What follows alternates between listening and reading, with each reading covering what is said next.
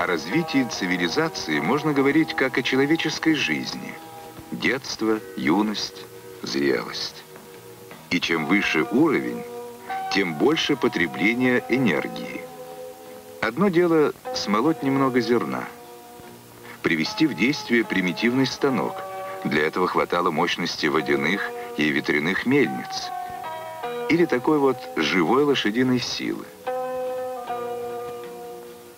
Совсем иные возможности открыло овладение энергией пара. Паровозы, пароходы, большие фабрики с паровыми машинами. На рубеже 20 века человечество научилось использовать энергию электричества, самую универсальную, удобную.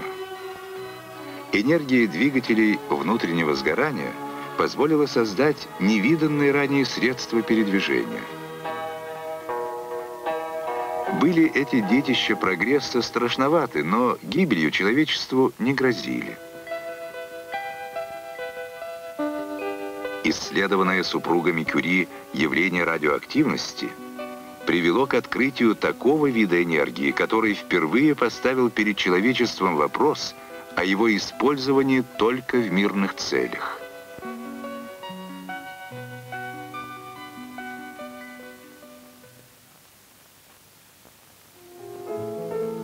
В молодой республике Советов работа по изучению радиоактивности – возглавил академик Абрам Федорович Иоффе.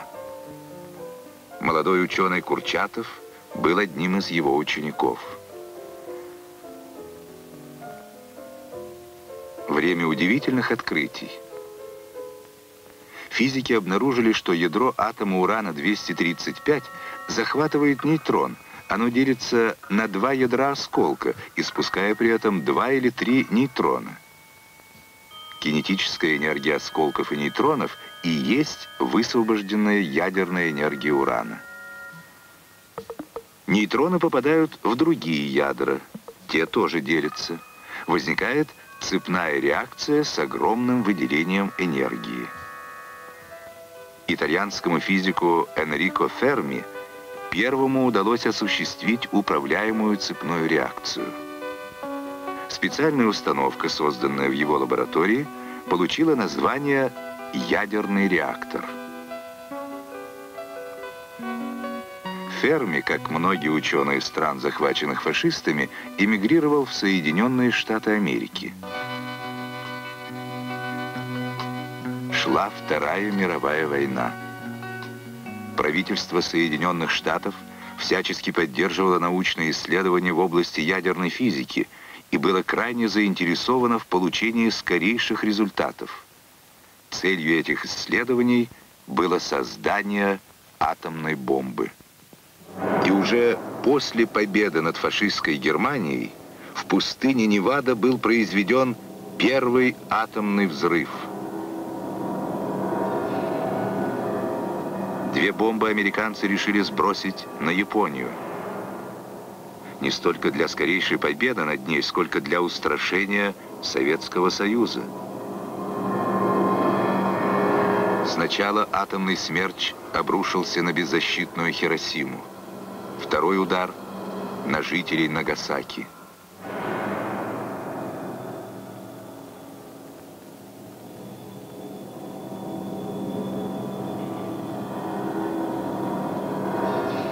города с сотнями тысяч жителей превратились в выжженную пустыню.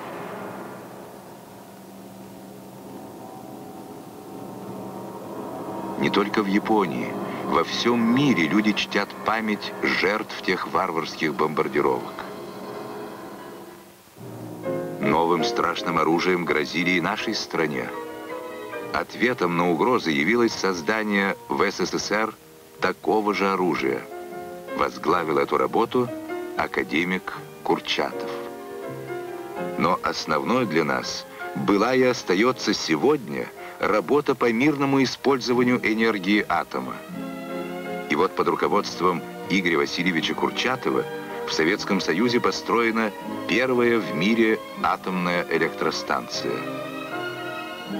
Год ее рождения 1954 Место рождения – подмосковный город Обнинск. В сущности, это самые первые строки в истории применения могучих ядерных сил для созидания, а не разрушения. Разумеется, потребовались надежные методы управления реакцией деления атомных ядер. В рабочей зоне реактора потоки нейтронов очень велики.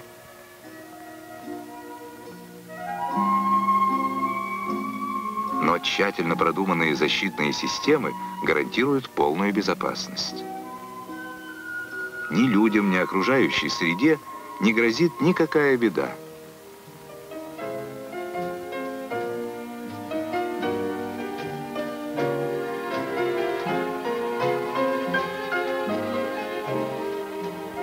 Теплотворная способность ядерного горючего огромна.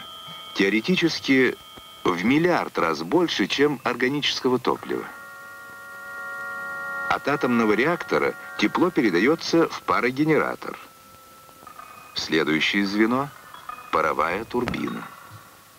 Она приводит в действие генератор, вырабатывающий электрический ток –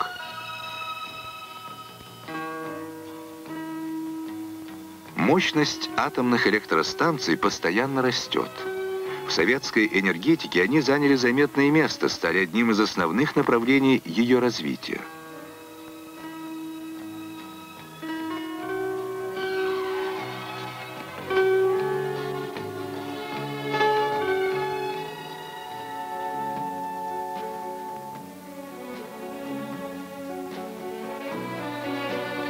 Выдающимся достижением нашей науки и техники по праву считается создание атомных ледоколов. Они не нуждаются в обычном топливе и могут подолгу работать во льдах. Из всех надводных судов только такому ледоколу удалось достичь Северного полюса. Сфера мирного применения атомной энергии расширялась и надо было думать о ресурсах ядерного горючего. Ученые нашли практичный способ получения нового ядерного топлива в реакторах на быстрых нейтронах – бридерах.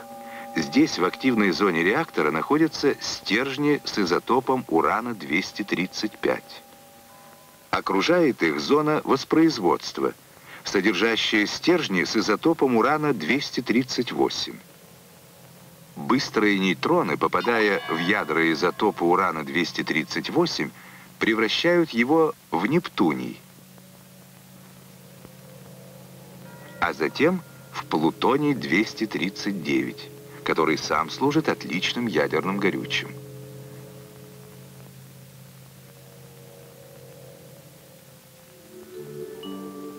Такие реакторы на быстрых нейтронах размножители одновременно восполняют запасы сырья и дают тепло для выработки электроэнергии. А энергия — это жизнь. Здесь, на берегу Каспия, нет пресной воды, но реактор на быстрых нейтронах дал энергию мощным опреснителям — и в пустыне возник новый город – Шевченко. Город, в котором воды хватает всем.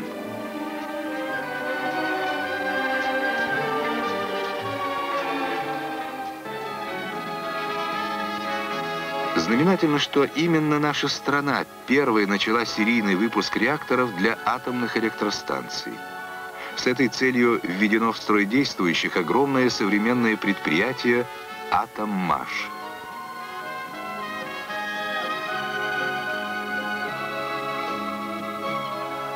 Оборудование для атомных станций идет отсюда не только в разные области Республики Советского Союза, но и в братские страны социализма.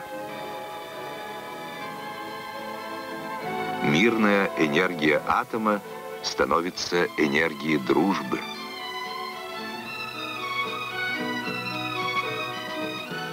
Сегодня электростанции и линии электропередачи Советского Союза и социалистических стран объединяются в единую энергетическую систему, которая получила название «Мир».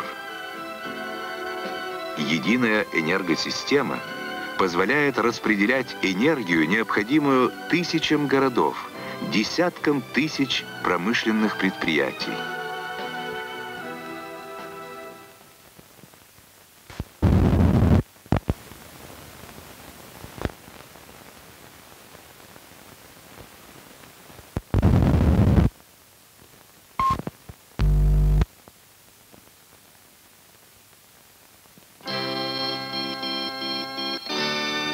Известно, технический прогресс идет с удвоением мощности в течение определенного периода. Для электроэнергии этот период составляет примерно 10 лет. И несмотря на строительство атомных электростанций, главным источником энергии остаются станции тепловые, работающие на угле, нефти и других видах органического топлива. Добыча топлива ведется такими темпами, что в не очень далеком будущем на Земле может вовсе исчезнуть органическое горючее.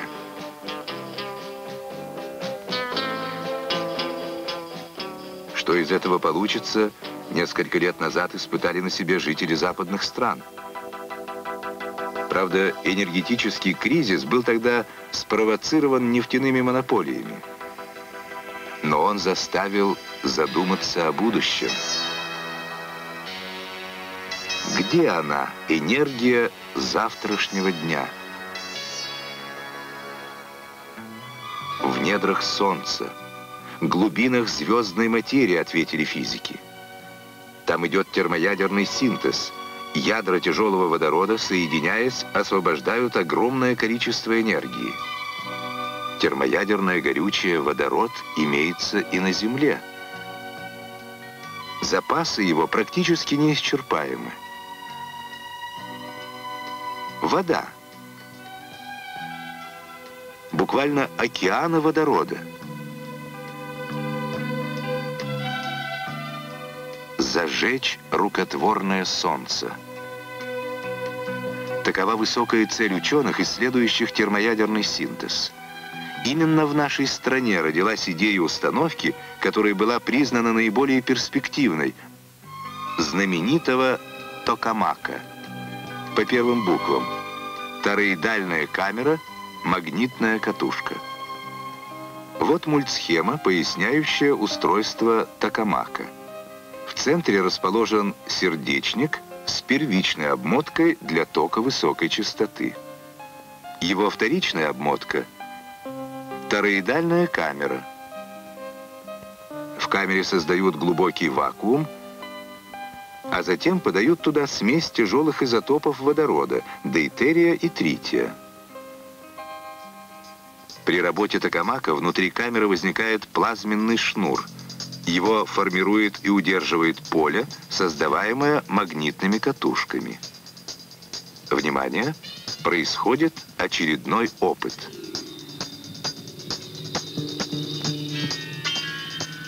Вспышки на этом макете означают реакцию синтеза ядер при нагреве до звездных температур.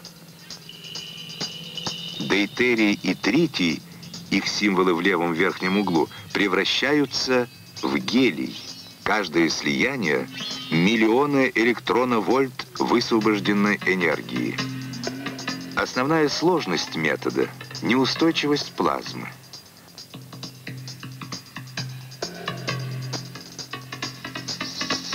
Ученые пытаются получить энергию термоядерного синтеза и на установках, где стимулятором реакции является луч лазера. Энергия лазерных лучей или пучков ускоренных электронов должна одним импульсом зажечь реакцию в термоядерной мишени. Вы видите установку «Дельфин». Она создана в Физическом институте Академии наук СССР.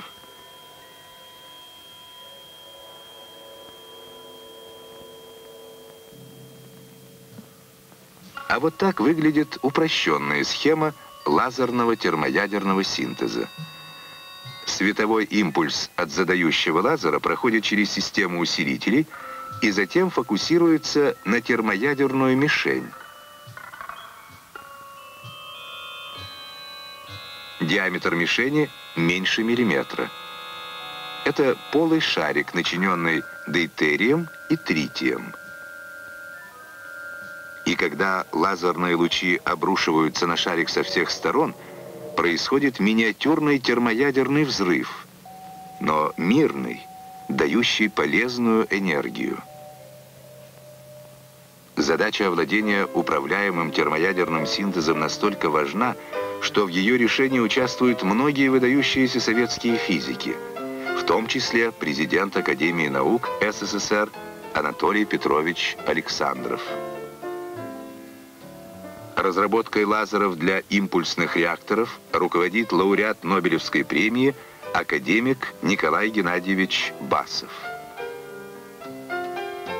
самые разрушительные, самые опасные силы можно укротить, заставить работать на благо людей. Но агрессивные милитаристские силы, прежде всего Соединенных Штатов Америки, не желают отказываться от ядерного оружия, угрожают им нашей стране. А ведь катастрофа на полигоне может однажды перерасти во всемирную.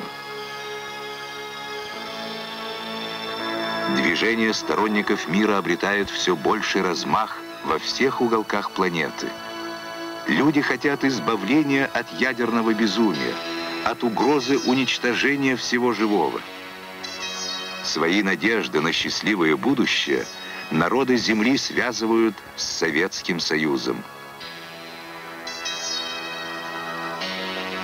Наша страна ведет активную борьбу за разоружение, за то, чтобы содержимое всех ядерных боеголовок было превращено в мирное горючее, чтобы мирный атом служил делу прогресса на Земле.